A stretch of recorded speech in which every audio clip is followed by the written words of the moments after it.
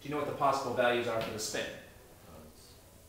Um, positive half or negative. Right. This is the simplest of them all, because it doesn't matter what your n is, or what your L is, or what your m sub L is, there's two possible spins, negative one half and positive one half.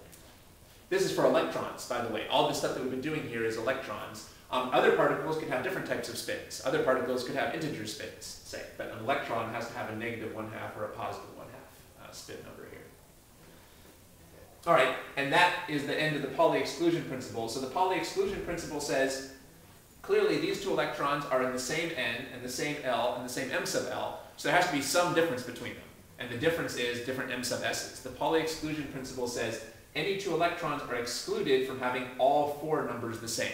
You're excluded from having all four numbers the same. So if you're in the same shell and the same subshell and the same orbital, you must have different spins. That's why you should never draw this, because this would violate the Pauli exclusion principle. This would be two electrons in the same shell, subshell, and orbital, and with the same spin. So that violates the Pauli exclusion principle. Uh, but this is in accord with it because these do not have all four numbers the same. They have three numbers the same, but their spin numbers are different. We might say this is positive one half and this is negative one half. Notice that these are the only numbers that can be fractions. If you see any other numbers that are fractions, it must be wrong. The other numbers have to be integers. The n's have to be positive integers. The l's have to be non-negative integers. That includes zero.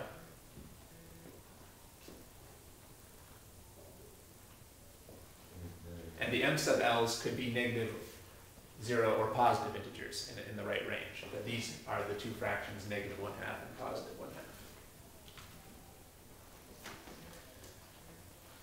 Okay, um, now there's a couple questions in your homework I don't want to get into too much because I don't think that it'll be on the exams, but let me just point out how you can kind of come to grips with this in the homework.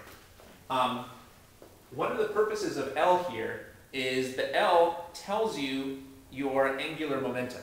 So remember how um, in classical physics things are tend to be continuous. You can take on any value in a continuum, but in modern physics many things are quantized. Only certain values are possible. One of the things that's quantized in the atom is angular momentum. Only certain angular momentums are possible. Only certain angular momentums are possible. And it turns out that these numbers quantize the angular momentums. L equals 0, 1, 2, and 3. When you take out your textbook and turn to page 650.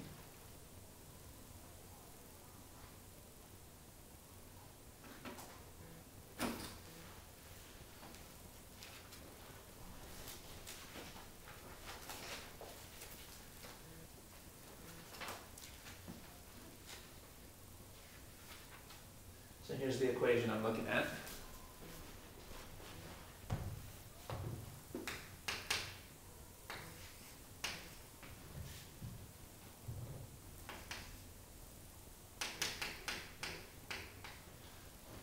All right, and this tells you what your angular momentum is. Capital L stands for angular momentum.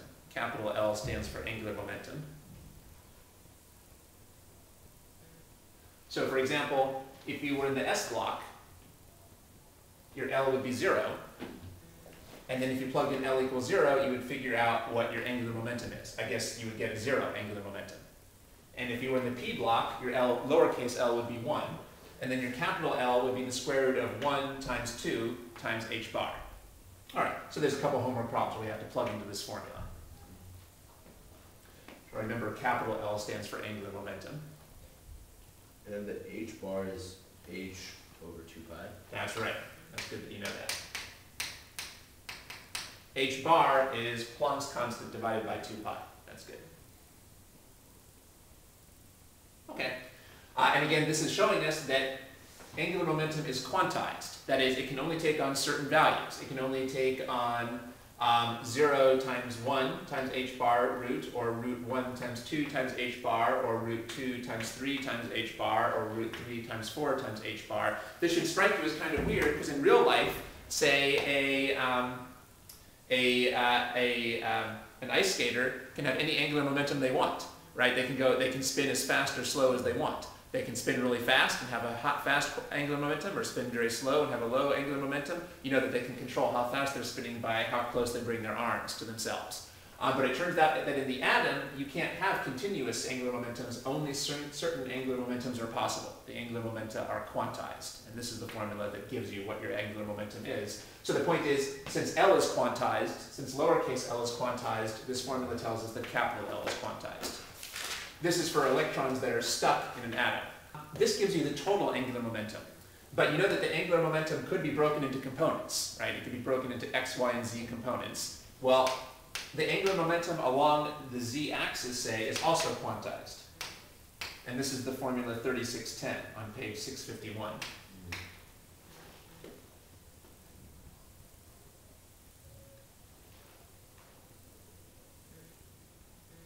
M sub L times h bar. So for example, if you knew that m sub L was 2, you could figure out that the angular momentum on the z-axis is 2 times h bar.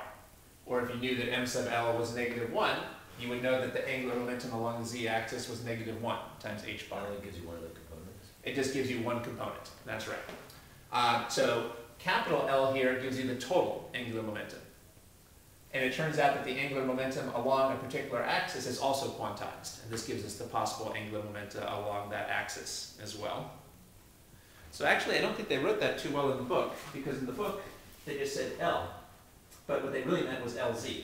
Otherwise, this would be the same as this formula over here. So you might want to fix this and say this should really be LZ. This is the angular momentum along a particular axis. All right, we can talk for a long time about exactly what the heck that means, but I don't think it's about, that would be the best use of our time. I don't think this is going to be a big issue on the test. I just wanted to point this out briefly, because you'll need this to do the homework. You'll need to plug in some of these formulas in the homework. Okay, but I don't think these are going to come up on the test. All right. Um,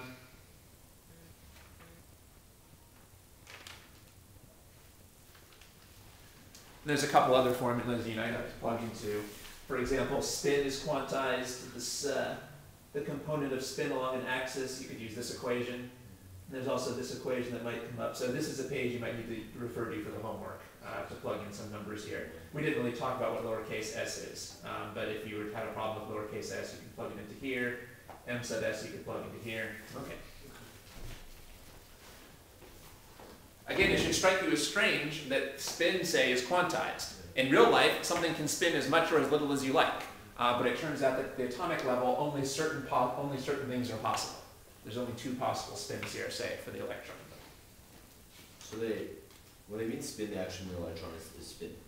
Well, actually, it turns out that it's not really spinning in a sense. Because, um, yeah, in a sense, the electron's not really spinning. However, it's doing something that has some of the properties of spinning. So this, the word spinning here is kind of like an analogy. They call it the spin because it has some effects that would be the same as if a macroscopic object was spinning. So in some ways it's like it's spinning, and in some ways it's like it's not. Uh, but they decided to use the word spin uh, to emphasize the ways that it was like something that's spinning. Uh, and in an introductory course like this, you're not really going to get into the details of exactly how it's like spin, which is good because I don't know those details. okay. All I know is that in some ways it's like it's spinning and in some ways it's not. Okay.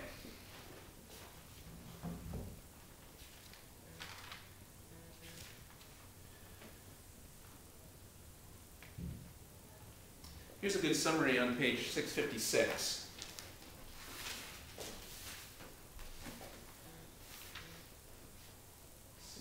six. This is a good thing to highlight. So this tells us what these stands for. N is the shell, L is the subshell, M sub L is the orbital, just like we've been talking about. This gives us the allowed values. We already have this, but N has to be a positive integer, L can be a non-negative integer up to N minus one, M sub L is centered around zero up to L, and M sub, uh, M sub S has to be negative one half or positive one half. We talked about S, P, D, and F. I don't think you need to know these capital letters for N, so we can skip that. Um, and we can also see the possible number of states here. For example, um, there's always n subshells in the nth shell, and two sub L orbitals, and two, obviously two spins. So for example, this is n. The third shell has one, two, three subshells. And uh, if you have, say, d equals 2, notice how many orbitals are there? Um, well, there are uh, six, right? six No, five, Yeah. which is Uh, two L plus one. Yeah. And here we have one, two, three, four, five, six, seven, two L plus one. Uh, All right, uh, like I say, I'm not really into these formulas. You should be able to figure this out just by writing down these tables and seeing how many possible values there are. But anyway, that might be a good table for you to review for the exam.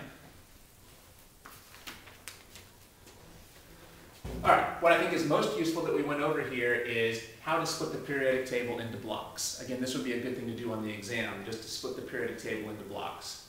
And this was very important. The first P block is the second shell, the first D block is the third shell, and the first F block is the fourth shell. So this starts with 3D and this is 4F over here. Most of the stuff we talked about can be read directly from the periodic table. A lot of the stuff you don't need special formulas for. You can read a lot of this information straight out of the periodic table. All right, and now it just takes practice uh, to, uh, to avoid the common traps and get comfortable with different ideas.